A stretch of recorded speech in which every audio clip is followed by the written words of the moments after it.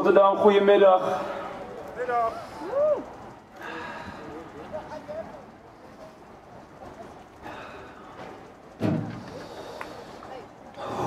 Ik ga niet liegen voor jullie. Ik ben, uh, ik ben Daryl dus. Ik kom uit Amsterdam. Het is altijd een eer om in Rotterdam te zijn. En ik heb eerlijk gezegd niet heel veel voorbereid. En dat heeft te maken met het gegeven dat ik tot gisteravond eigenlijk het idee had van oké, ik ga hierheen als publiek en een keertje niet als spreker eindelijk. Toch voelt het heel goed om hier te zijn en ik ga te beginnen in mijn intro uitleggen waarom dat zo is.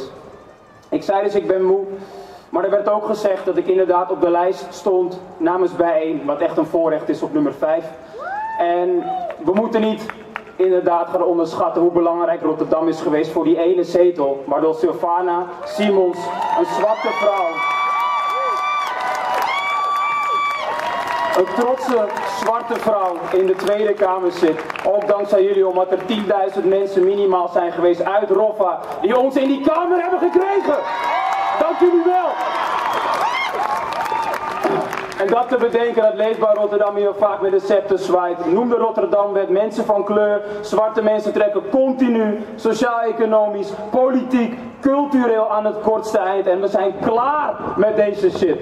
Maakt niet uit waar je vandaan komt, maar vandaag hebben we het even over Rotterdam. En natuurlijk over de politie. Dus dankjewel nogmaals. Geef jezelf even nog een hartelijk applaus en ook van andere sprekers. De politie dus, yes, ons favoriete onderwerp in relatie tot racisme. We raken er niet over uitgesproken wat dat betreft. En ik ben dus jongerenwerker, dat werd me een beetje net in de schoot geworpen, daarbij jullie dus ook. En vaak als jongeren met een probleem zitten, of met een uitdaging waar ze niet uitkomen, stel je een open vraag. Dat is heel simpel. Open vraag, dan kan je niet met ja of op nee of met antwoord. Dat lukt gewoon niet. Wat je vaak doet is, je begint met wat of met hoe. Dus als iemand iets wil veranderen, kan je vragen, wat ga je doen? Dus bij deze wil ik aan de politie vragen naar de zoveelste structurele incidenten. Wat de hel gaan jullie doen? Wat is het volgende wat jullie gaan doen? Om te beginnen mensen in Rotterdam, mensen van kleur, zwarte mensen, Mensen toegewijd tot welke religie dan ook. Mensen die welk gender dan ook willen omarmen. Wat gaan jullie doen voor deze mensen te beginnen? Is dat het volgende? Gaan we weer dialoogsessies doen met burgers? Is dat het volgende dat we weer gaan doen? En niet die machtsverhouding gaan bespreken, die zo problematisch is ook te beginnen in deze wijk? Gaan we weer op de gay pride, gaan we weer boten vullen om te laten zien hoe inclusief we zijn? Niet beseffen waar pride vandaan komt, de transhaat die ook verwikkeld zit, als we het hebben over de politie? Gaan we het daarover hebben? Gaan we dat weer doen?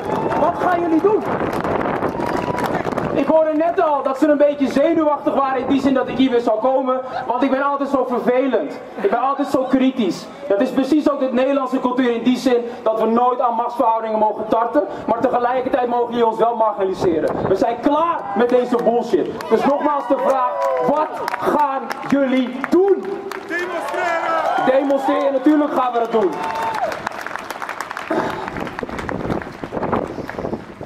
Stoppen met die cultuursensitieve trainingen en dat soort bullshit. We hebben al gezien dat dat niet werkt.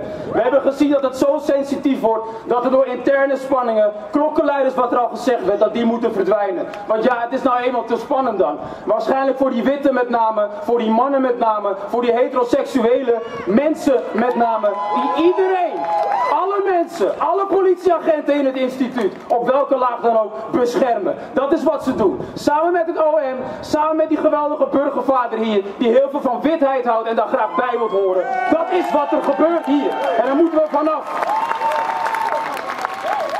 Dat gezegd hebbende, ik gebruik dat woord dat gezegd hebben, is vaak een bruggetje. Ik heb al gezien dat hier ook politieke partijen staan. Ik heb Denk gezien en ik geef voor jullie nu een shout-out. Ik zal zeggen waarom. Zijn er ook mensen van alle andere politieke partijen? Zijn jullie hier? Zijn er handen? Zijn er handen? Laat maar zien. Top. Ik wil naar het volgende toe. Elke politieke partij die aangeeft hier dat ze politiegeweld niet tolereren. Dat ze iets tegen racisme willen doen. Die er vorig jaar bij waren. In juni, in Den Haag, in Amsterdam, in Rotterdam. Waren ook bij de Black Lives Matter demonstraties. Maar wel heel stiekem hebben gestemd voor een nieuwe politiewet. Zonder het volk in te lichten daarover. Is hypocriet bezig. En hoort niet bij de bescherming als het gaat om zwarte en niet witte mensen te beginnen. Dus check jullie zelf en check jullie privileges. Jullie zijn hypocriet. Dat is wat jullie zijn. Jullie zijn hypocriet. Jullie gaan ons niet kunnen beschermen. Dat, we hebben het al over die cultuur gehad van de politie, maar ik heb net zonder alle andere sprekers te doen iets. Ben ik iets vergeten? Heb ik iets nog niet gehoord? En het heeft te maken met abusers. Als er vrouwen zijn in deze samenleving te beginnen, of homoseksuele mensen zijn in deze samenleving te beginnen, die 30 keer of meer met de politie contact zoeken, omdat ze gezegd hebben van ik word bedreigd door een man, dan zijn het mannen te beginnen in deze samenleving die die andere mannen moeten checken op hun gedrag. Want we weten, we weten politie dit niet voor ons doet. En dan helemaal als je zwart bent, en helemaal als je niet wit bent, en dan helemaal als je toegewijd bent tot de islam of wat dan ook. Vrouwen zijn in gevaar. Dus mannen die jullie vrienden kennen die dit soort dingen doen, check ze en nagel ze wat mij betreft aan de schandpaal. Want we hebben een probleem met mannen, niet alleen bij de politie.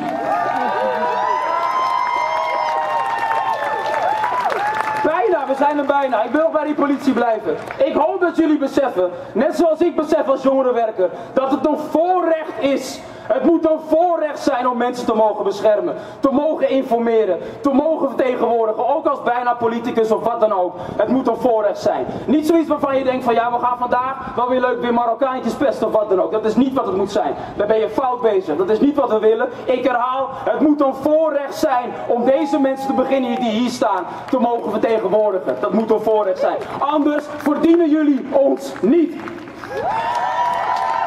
Er zijn al die goede agenten die hier waarschijnlijk wel zijn. Ik geloof dat jullie hier zijn. Ik geloof dat jullie goed willen doen. Vergelijk nu wat er hier gebeurt met hetgeen wat bij een teamsport altijd zien gebeuren. Je verliest met z'n allen en je wint met z'n allen. Als er ergens in Groningen een gigantische cocaïnebende wordt opgelost en je staat hier te juichen omdat het jouw collega's zijn, dan moet je net zo hard janken, net zo hard boos worden als hier, hier in dit gebouw iets gebeurt. Dan kan je niet zeggen, ik was het niet. Dan kan je niet zeggen, collega's. Nee, jullie zijn even verantwoordelijk voor wat daar gebeurt. Jullie zijn even verantwoordelijk. Dus draag die last ook met z'n allen. Dat is wat jullie moeten doen. Tot slot even naar de jongeren onder ons. Nogmaals, ik ben jongerenwerker. Het is voor mij een voorrecht om al vijf jaar, dag in, dag uit, met vooral Turkse jongeren te werken. Met vooral Syrische jongeren te werken. Met vooral jongeren te werken die een zogeheten migratieachtergrond hebben. Toen ik die appjes las, ging ik door de grond. Ik ging kapot, mensen. Ik ging kapot. Ik ging helemaal stuk. En waarom? Wat denk je dat dit doet met die jongeren die dit lezen? En Turk minder. Wat denk je dat het doet met de mensen, de nabestaanden van Humera die hier nu zijn? Laten we niet onderschatten wat woorden vanuit een machtsinstituut kunnen doen met mensen die hier alle bescherming genieten en dat niet krijgen. Laten we dat nooit onderschatten, wat het met sociaal werkers doet. En daarom richt ik me tot de jongeren hier. Lieve jongeren, ik weet dat jullie boos zijn. En jullie frustratie is terecht. Ik voel hem, want ik voel hem ook hier.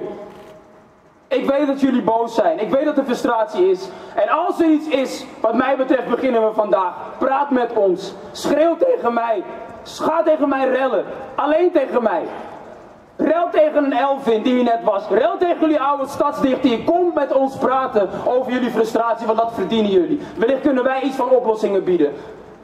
Ter aanvulling, zijn die mensen, steek jullie handen als dat kan uit het sociaal domein. Jongerenwerkers, sociaal werkers, ambulant jongerenwerkers. Ik weet niet of er jongerenwerkers hier zijn nu, of in ieder geval jongeren zijn. Kunnen jullie handen nog omhoog als dat kan?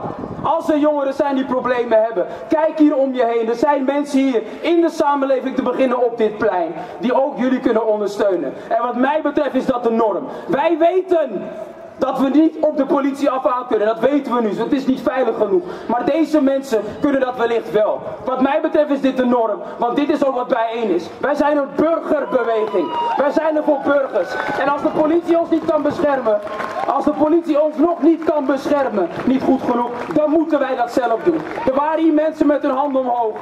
Lieve jongeren, richt je tot hun en laten we kijken wat we te beginnen vanuit burgerbewegingen zelf kunnen doen. En voor die politie ter afsluiting. Ik ben blij voor jullie, en misschien vinden jullie dat nog niet, maar het gaat komen. Dat Sylvana Simons namens bij in de Tweede Kamer zit. En waarom? Wij hebben, wij willen een ministerie minimaal van gelijkwaardigheid. Waarin elk instituut waar met racisme genormaliseerd gegooid wordt en gespuit wordt, die wordt binnenste buiten getrokken. Die wordt helemaal binnenste buiten getrokken. Jullie worden strafrechtelijk vervolgd. Of het nou de politie is, of een nagelsalon, dat maakt ons niet uit. Op het moment dat je je schuldig maakt aan racisme, heb je een probleem. Racisme is geen mening, het is een misdrijf. Knoop dat goed in jullie oren. Het is een misdrijf. De politie gaan wij niet verder in investeren als het zo blijft. Nee, wij gaan niet nieuwe wetten supporten waarin met tasers gegooid mogen worden of agenten mogen schieten bij het tot staande houden van mensen. Dat is niet wat wij willen. Wij willen naar een burgersamenleving toe waarin meer regie naar de burgers gaat. En daarbij mag de politie een keertje naar ons gaan luisteren. En dat is exact wat jullie gaan doen. Dank jullie wel.